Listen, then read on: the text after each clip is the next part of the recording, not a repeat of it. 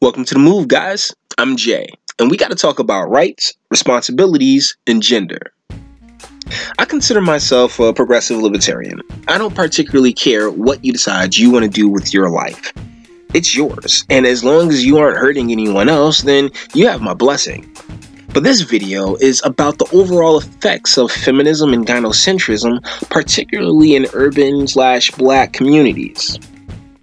Now, before we begin, if it doesn't apply, let it fly. Hashtag not all right up there in the corner.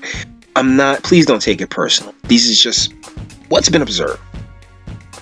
Donna Brazile, Symone Sanders, Maxine Waters, Ana Navarro, and countless other women of color pressed hard for Hillary Clinton and the Democratic Party during the presidential election, ignoring the crime bill, NAFTA, super predator remarks, and other past sins that help to nurture the deterioration of the situations in urban zones.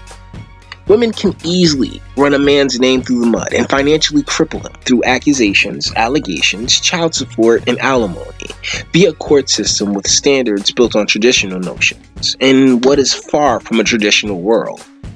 These laws were put in place by men with focus on being, uh, with the focus being on our potential cruelty and the virtues of women in the 1940s and 50s. It's current year, and it don't work like that no more. I get to use my favorite analogy. Consider society an NBA team. Women went from playing like Scottie Pippen to Stephon Marbury. Scottie was an egoless player, whatever needed to be done to win. He went out and did it with little to no fanfare, whereas Mr. Starbury would dribble for 20 seconds and pass with four left to shoot. Not very considerate, and an awful strategy in winning a championship. Yet they fit so perfectly in this scenario because there is absolutely no question that Stephon Marbury belonged in the league and had insane talent, which can be said of women as a collective. I've had enough women supervisors and bosses to attest to the capacities and capabilities of the quote fair unquote sex. The opportunity to do with your life as you please is a human right. And I've encountered endless women who are far smarter and cunning than myself. But that leads us into personal choice and the difference between equal opportunity and equal outcome. The opportunity is there for almost all American citizens. If you want Right now, you can pack up and go wherever you need to be to achieve what you like. In theory, I know money is a thing, but if it weren't, you could literally do whatever, regardless of race or gender, as long as you're an American citizen. So, if you want to see a female CEO, then go be a female CEO. If you want to see the first black curling champion, go and be the first black curling champion. There is almost nothing besides probably money stopping you so when there's this big cry because of a lack of gender equality, it is for outcome and not opportunity. Look, I hate to burst your bubble, but we will never have equality of outcome, and that's a great thing because we should all want the best slash most qualified, regardless of superficial features such as gender, race, religion, creed, whatever. Just be the best at what you do, and damn it, I want you there. A world with engineered equality is not a world you'd want to live in. Obviously, at some point, the Gazorpians became so evolved that they replaced females with birthing machines. The resultant lack of distraction and henpecking allowed them to focus entirely on war, so they bombed themselves back to the Stone Age, and now they just fight with each other over fake with sticks and rocks all day long. You think it's efficient to get rid of women? You ever see a line for the men's room? Are you do you, you hear me, Summer? I'll do you even one better, Rick. Have you ever seen a women's restroom after an event? It's unholy. I used to work the Terrace Ballroom in Newark and at a Target in California, so it isn't a race or a cultural thing. Women can be far more disgusting than men. Hashtag equality. We like to shit on the past, but the past got us where we are. I myself easily grow bored with traditions, particularly of the religious variety, but to deny their role in cultivating the society, freedoms, and comforts that we currently enjoy would be intellectually disingenuous. During the 50s and 60s and the time of segregation, the black family was undeniably at its strongest. Even at the beginning of integration, it wasn't so bad. There was still that structure of the nuclear family until the welfare state came along. And I'll let T- Trick Daddy take it from here. We were set up. This was this this was well orchestrated. They said, okay, this is what we're gonna do. We're gonna free the slaves. We're gonna leave them certain lands and certain properties, knowing that we did not allow them to read, write, spell, knowing that we did not allow them no schooling. And when we did give them schooling, it was segregated. So we're gonna leave them property, not knowing that five, ten years from now, that we're gonna take the property from them because they didn't pay their taxes. Okay? We went from that to, okay, now that's off from welfare, that's off from WIC, that's off from food stamps. Free healthcare what they call Medicaid. Okay, now let's build a project. This is a this is a ghetto environment to the fullest, but we're gonna give them things like one dollar rent, free park and recreation for their kids, summer programs. But hold on, you can't have no man staying with you. You can't have no man. So as growing up, as every year, every other year, I would meet a different guy as a mentor. It was a blessing. All of which who accepted a role at the time that they know they did not know it was impossible for them to play. A, a, position that they did not know that was impossible for them to keep because if a man lived with you, you would get evicted and lose your HUD.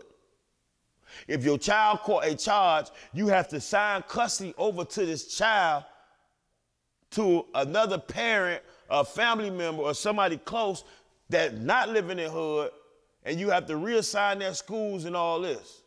So while I'm thinking all these men gonna do the same thing, they're gonna get my mama pregnant and they're gonna run out her life. I didn't realize all this because we were young. You know, that's not a story that I can personally relate to because I had my father in my life until the moment he passed away. But too many of our young men can relate to that story. So, the dad's gone because the system has made him useful for just one thing and created a praying mantis effect amongst the women, who, by the way, are the most educated. And speaking of the educational system, here is author and intellectual Christina Hoff Sommers on the state of boys in the, in the, in the educational system way back in 2000. First thing I will say is that there's a surprising amount of hostility towards boys in this society. To put it bluntly, boys are politically incorrect. Now, I'll begin by telling a brief story of something that happened during a television debate I had with this celebrity lawyer, Gloria Allred. Um, Allred was um, representing a 14 year old girl named Katrina who was suing the Boy Scouts for excluding girls. Um, girls 15 and older can join the Explorer Scouts, which is co ed, but Al- Allred, Gloria Allred, was outraged that girls younger than 15 were not allowed in. And she referred to same sex scouting as gender apartheid. Uh, well, I was there to defend the Boy Scouts, and I told her that young boys and girls have rather different preferences. And I gave her a kind of homespun example. Um, so, some of the best research I found in the course of doing my book was by toy companies, because toy companies don't have an agenda, they want to sell toys. And I, I told Ms. Allred about Hasbro Toys. Uh, it's a major toy manufacturing company that tested a playhouse that they wanted to sell to both boys and girls. So they brought the children into their fun lab in Providence, Rhode Island. And the girls came in and played constructively with the house. They played dolls. They put the baby in the baby buggy. The boys came in and catapulted the toy baby carriage from the roof. And the general manager was sort of surprised, but she said, "Well, boys and girls really are different." Anyway, I told this to Miss Allred on our. It was a debate on Crossfire or Equal Time, uh, and I thought she would be amused. She was not amused. This made her very angry. She was shocked by the boys' catapulting behavior. She took it as a sign of potential violence.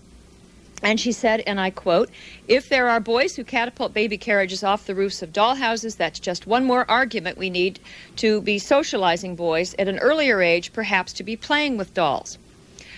End quote. Now, Ms. Allred has powerful allies among educators. Uh, Gloria Steinem, the feminist leader, once said that, or she often says, that we need to raise boys more likely like we raise girls. And strangely enough, many schools are now following that advice. It's all social engineering. And for young black men, there has been a concentrated effort to strip away all semblance of masculinity from them. This summer, I came across a single mother who wanted me to shake her hand as if she were a man, despite having three feet of titty meat dangling in front of my face. When I refused, she forbade her super effeminate son from speaking to me. But I'm using it as an example because in the black community, feminism has left women believing that there is absolutely no difference between men and women, when science, biology, and God beg to disagree. Over 70% of kids are born out of wedlock in our communities.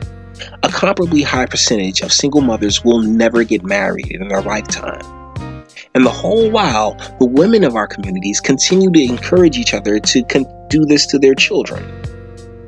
Look, I know the go to line is to say that men should take care of the responsibilities, it takes two to make a kid, and countless other cliches that frame women as innocent victims. But the problem with that one sided barrage of blame is that men have no reproductive rights, and women set the standards. If men had to be great guys in order to smash, that's what we would be. Let's wrap this up. 90% of my audience is guys, and I promised this video for a while, so I'm a man of my word. Gentlemen, you are not crazy. The misandry is institutionalized to a dangerous degree, and I want you to be aware of it. Marriage has a 60% divorce rate, and 80% are filed by the woman who can just decide she doesn't love you anymore, which is her right, but brother, you are left incredibly vulnerable. Funny side notes Stephon Marbury is attempting an NBA comeback. Wish him the best in that. I'm positive he can help someone off the bench. And Scottie Pippen has been in the news because of his wife recently taking back the divorce papers. After reportedly being forced to apologize for her cheating. It might be cheaper to keep her, but actually, it's better to have never met her. I'll see you in the next video. Like, comment, sub. I'm out. 50, 60 kids in one classroom. They paying the teachers between thirty and forty thousand dollars. That ain't even enough money for them to pay back that high ass loan that they got the the uh, education degree in.